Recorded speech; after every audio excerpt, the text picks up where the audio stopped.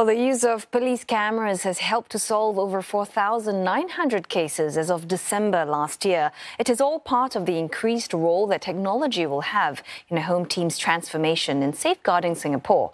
The transforma uh, transformation comes as the agencies tackle more complex threats amid a manpower crunch.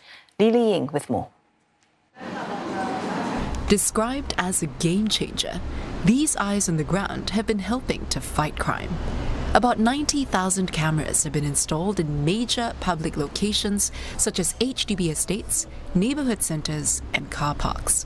Surveys have shown that people feel safer with a prominent placement of police cameras in their neighborhoods. In the next several years, I promise that many more cameras will be installed across the island, subject to the budgetary situation. The new Punggol fire station will feature greater use of sensors and automation. Tracking of readiness of emergency supplies and vehicles and rostering of duty personnel will be done automatically.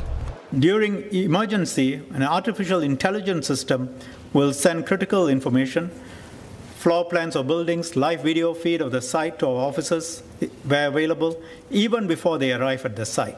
That will help officers assess the situation, develop a plan faster, enhance their response.